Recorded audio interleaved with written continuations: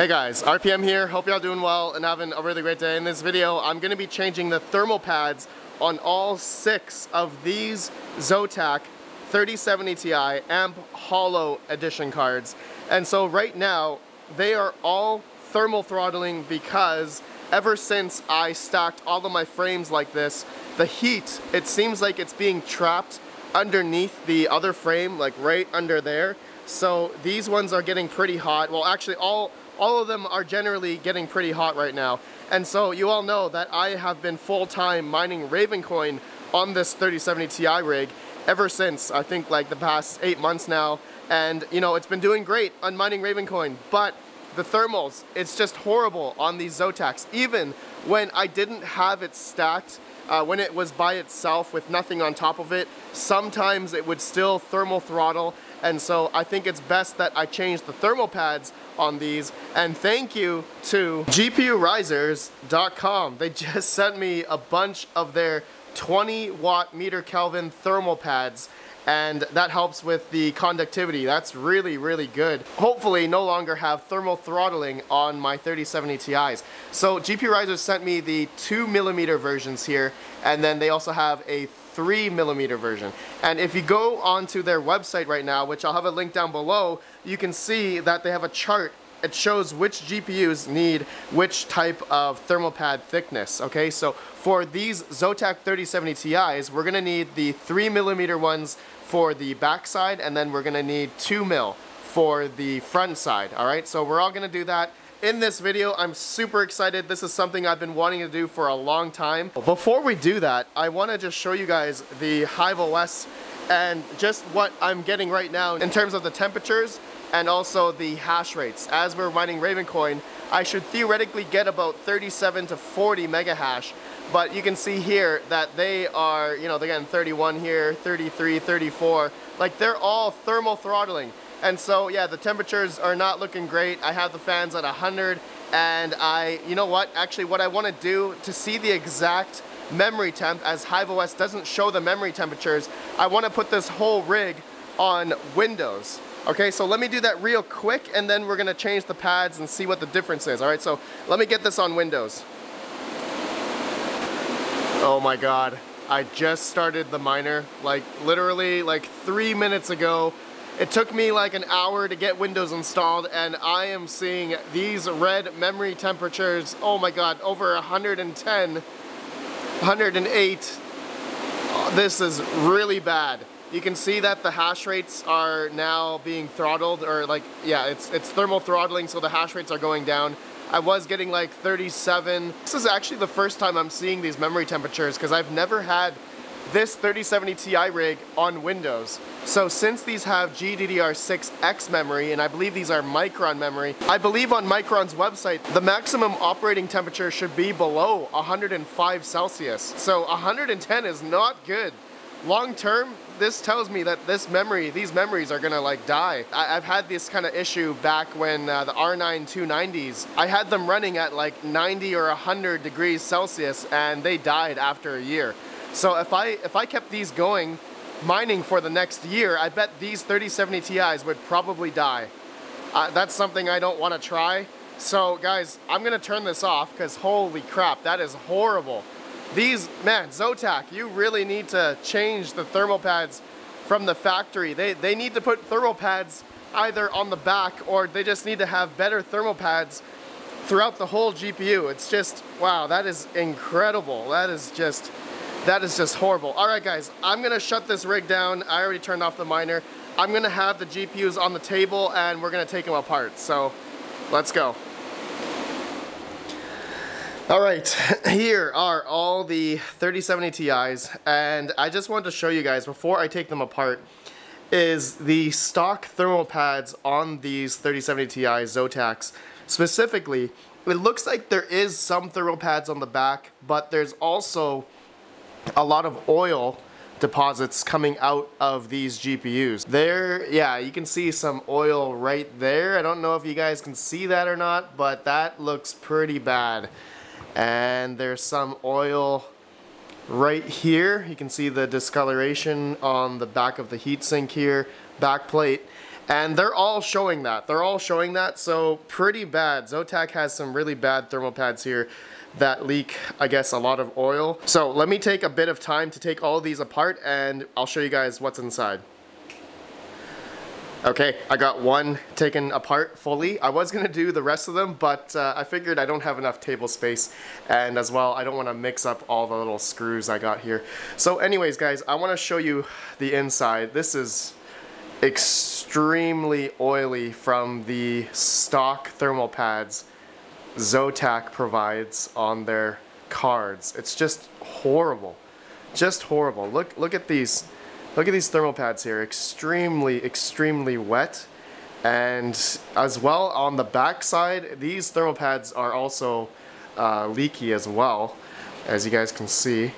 And it seems like these are really bad thermal pads. You guys saw the memory temps. The, the memory temps are just, just horrible, just horrible. So here's the back side over here. All right, the thermal pads on the back plate over here coincides with this back part here. It looks like there is a thermal pad that just stuck on the back here. And yeah, it, it feels it feels cheap. Definitely feels cheap. I don't think this is good stuff. Obviously, we saw the temps. And also, you know, I, one thing I just wanted to mention is look at the heatsink for the Zotac Holo Amp versus how big the PCB is on the 3070 Ti. Look at this.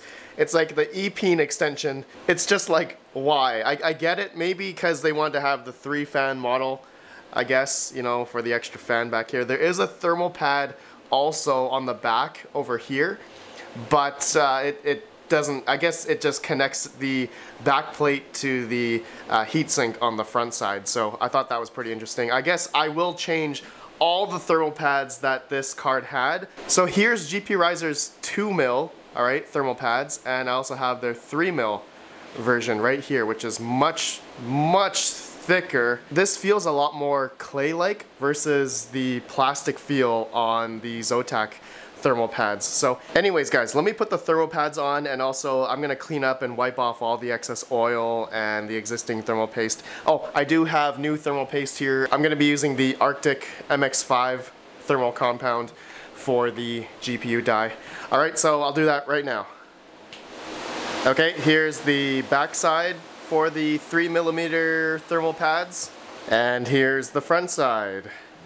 So I've added a white thermal pad there another one right there, another one right there, and uh, you may be wondering, Red Panda, where's that one on for this middle one right here? And yes, it's on the heatsink. The reason why I did that is because there are two screw holes, and so I didn't want to put it onto here in case I, when I put the heatsink on, I didn't want any of the thermal pad to go into the screw holes here, so I put it in just like that.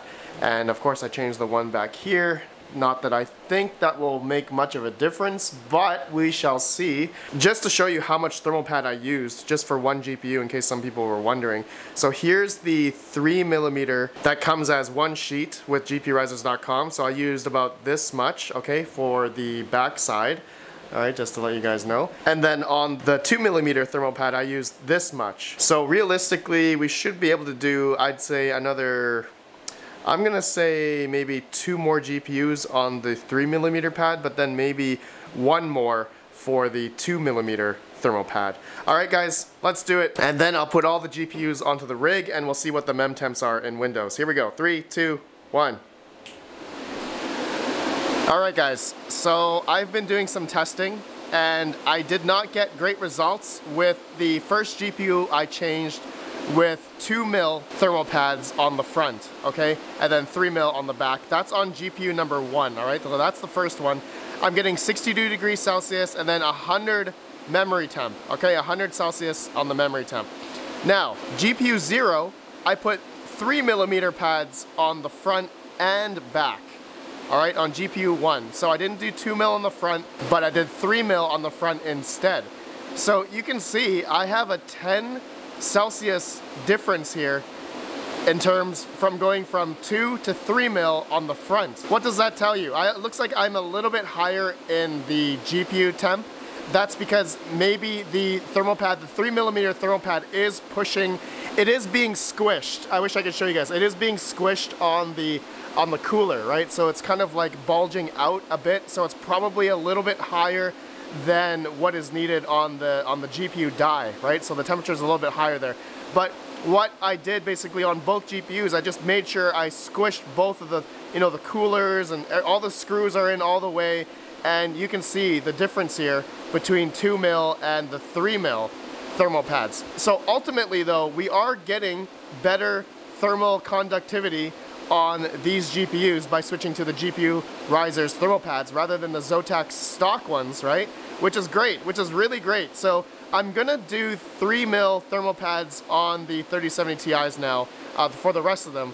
And uh, we're gonna see what the result is. But I also wanna mention that I think if we had 2.5 millimeter thermal pads, it would probably be the perfect medium between for having those on the front, okay? And then 3 mil on the back seems to be just fine, but 2.5 mil on the front I think would be the perfect size for these for these Zotac 3070 Ti's. I think I've seen other GPUs out there that may need 2.5 as well. But yeah, every GPU is different in terms of thermal pad sizes. So you probably may need to buy like every single size just to just to try it because all GPUs are different. That's kind of what I did in previous times when I changed thermal pads on other GPUs in the past. But anyways guys, let me change the other thermal pads on the other four and uh, we're gonna do three mil on all the other four and see what the result is. Be right back.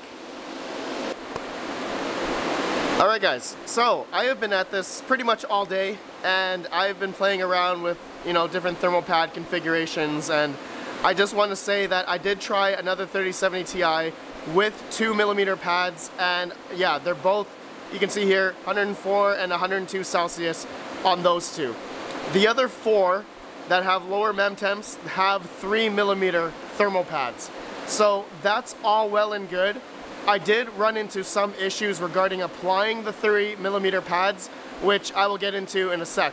But I did talk with GPUrisers.com, Vistang, the owner of GPU Risers, and he said that he applied the 2 mil on his 3070 Ti uh, holo amp edition cards, uh, exact same cards that I have, and he said he was able to get much better thermal conductivity in terms of the memory temperatures on his with two millimeter pads on the front. I don't know if I'm applying them wrong on these two 3070 Ti's or what, but you can see here, by applying the 3 millimeter pads on the front and on the back, it seems like it helped a lot.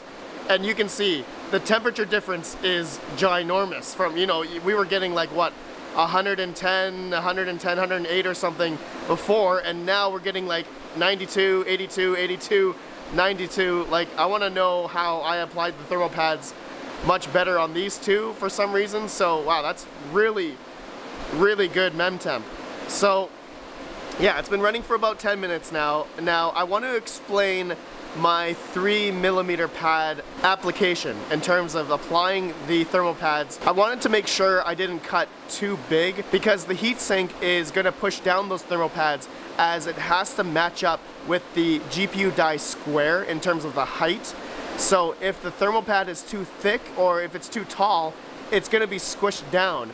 And so actually with the GPU risers is that they are able to be compressed really easily as, as they feel like putty. And so you just gotta make sure you have clearance, just some like breathing room, some air room between the thermal pad and the GPU die, the square around the GPU die so that when you're gonna push it down, excess thermal pad is to be pushed down and it will just bulge out of the side of the heatsink per se. So all in all though, if I weren't able to compress those thermal pads, it wouldn't be able to have these nice GPU temps. The core temps are really nice.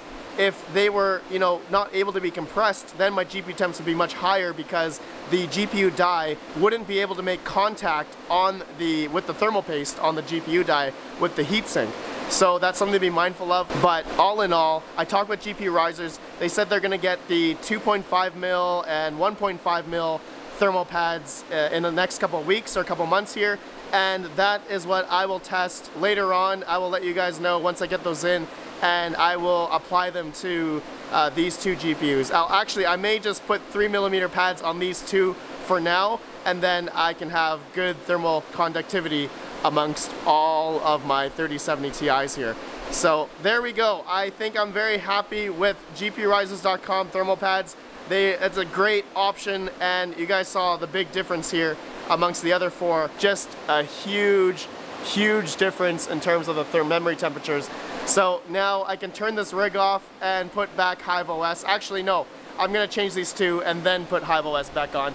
All right, my friends, that's it. Thank you to GPUrisers.com for these thermal pads. Just to let you guys know, I did go through three millimeter thermal pad packs. Okay, so I have two left and I did, I only used one of the two mil, obviously, because I only applied it to two, two of the GPUs uh, in terms of the front side. But I am basically, I used a lot of the 3 mil because that was for 6 GPUs. So realistically, I use 3 packs for 4 of the 3070 Ti's and plus I guess I used uh, some of it for the backside of the other two for, with the 2 millimeter pads. Alright, and then the 2 millimeter sides were for the front.